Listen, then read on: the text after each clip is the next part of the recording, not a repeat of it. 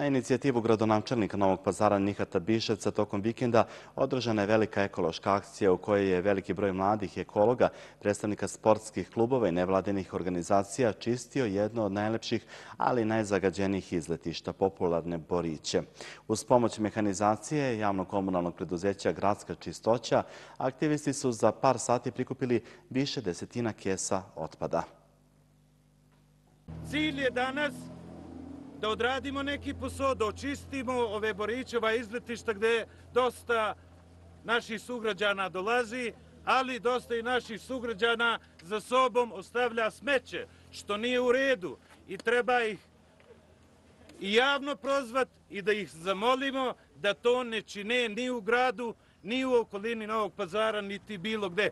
Ovim rečima učesnik ekološke akcije pozdravio je i motivisao član kabineta gradonačelnika zadužen za ekologiju Neđa Deminović, koji je pre početka akcije učesnicima podelio i rukavice i kese za otpad. A onda je akcija i krenula. U njoj je učestvovalo oko stotinak akcijaša, svi sa jednim ciljem, da očiste okolinu. Ovaj, došli smo da našim sugrađanima pokažemo da oni ono što bacaju, što ostavljaju, da moraju drugi da kupe. Evo, često, često šetam inače ovdje ovim borićima i vidim da naša omladina donese pune kese slatkiša, čega već sokova, spakuju i ostave to tu. I više nije dovoljno samo ne bacati. Ok, ja ne bacam, ne znam, možda 20 godina nisam bacio papir.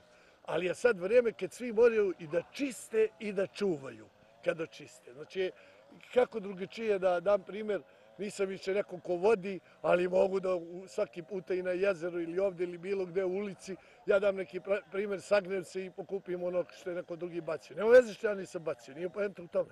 Danas čistimo. Dobro, je li teško? Pa i nije. Je li ima puno smeća? Ima.